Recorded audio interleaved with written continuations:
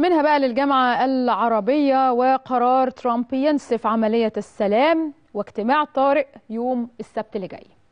صرح السفير محمود عفيفي المتحدث باسم جامعة الدول العربية أن الأردن دعت لاجتماع وزاري طارئ يوم السبت المقبل بعد إعلان الرئيس الأمريكي دونالد ترامب الاعتراف بالقدس عاصمة لإسرائيل أضاف عفيفي أن الطلب ده تم تعميمه على كل الأعضاء بالجامعة العربية وأكد أن المشاورات بدأت بين الدول والسادة الوزراء بخصوص الاجتماع.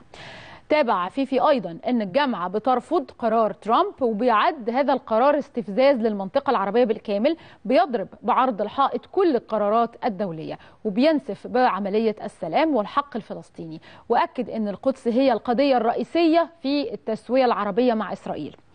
كان السفير أحمد أبو الغيط الأمين العام لجامعة الدول العربية قد انتقد بأشد العبارات اعتراف الإدارة الأمريكية بالقدس عاصمة لإسرائيل ونقل السفارة الأمريكية لدى إسرائيل إليها.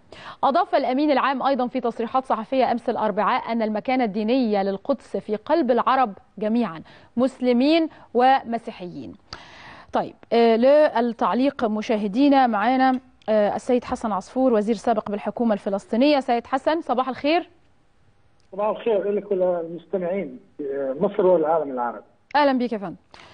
طيب أنا عايز أسمع الأول من سيادتك بس يعني تحليل للموقف. إحنا طبعا العالم كله رافض هذا القرار. وإحنا طبعا كمصر بنرفض هذا القرار تماما والقرار أغضب الجميع. وفي وجهة نظر يا فندم بتقول إن دونالد ترامب ليس إلا منفذا لقرار إسرائيل هو لم يتخذ القرار من نفسه. اتفضل يا فندم.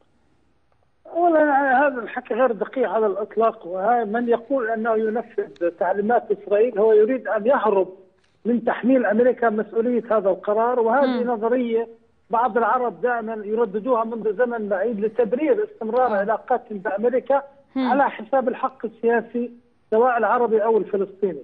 تمام يعني حضرتك شايف إن القرار أمريكي 100% حتى إن رفضت بعض لا. الأحزاب الأمريكية هذا القرار فهو يعني رفض صوري يعني. أمريكا هي الراعي لإسرائيل مش العكس. مش العكس تمام أمريكا. تمام طبعا أمريكا الراعي الرسمي لإسرائيل مم. وبدون إسرا... بدون أمريكا إسرائيل كانت تنتهي تماما في كثير من القضايا.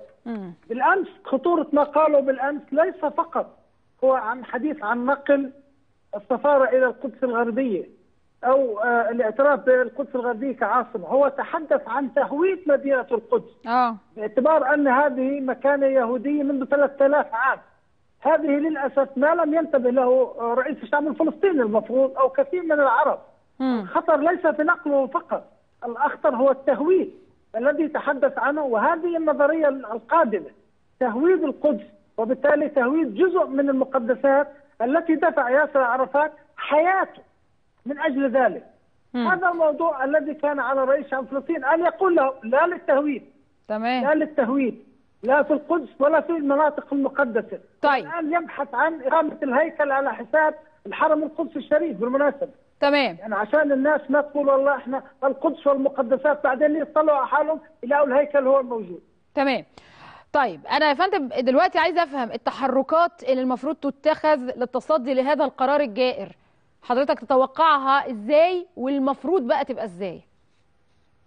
أتوقعها ما فيش توقع. لا نعلم في اجتماع للجامعه العربيه لا معلش يا فندم مش فاهمة. يعني إيه ما فيش توقع؟ ما فيش توقع لإيه؟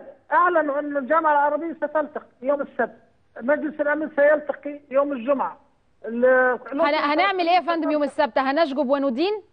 بس؟ واعتقد غير أنا أعتقد ذلك. لن ياخذ لن يأخذ هناك قرار رسمي عربي جدي تجاه تعليق العلاقات مع أمريكا ليه؟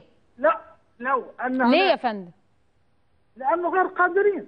وترامب بلغهم. ترامب قبل لا يأخذ القرار اتصل بالعرب واتصل بالرئيس الفلسطيني. قال له أنا سأعمل. لم يعقد أي قرار لم يؤخذ أي قرار مسبقا حتى. طيب سيد حسن ليه ما نفكرش في سلاح المقاطعة؟ لأن يعني منظمات المجتمع المدني وبعض النقابات شايفة ده يعني شايفة إن سلاح المقاطعة وبالفعل بتنا يعني بصدد تنفيذه. إحنا ليه ما نفكرش في هذا السلاح؟ هو سلاح مجرب يعني بعتقد بعد 56 عدوان على مصر بعتقد إن الأمة العربية جميعها خرجت لتساند مصر في موقفها وعملت حركة مقاطعة شاملة. للمصالح الاستعمارية في حينه. الآن الولايات المتحدة الأمريكية أي غضب حقيقي نحو مقاطعة أمريكا مش فقط مصالحها تعليق العلاقات الدبلوماسية مع أمريكا ثم تعليق كل العلاقات الاقتصادية بشكل أو بآخر ومقاطعة كل الوفود الأمريكية.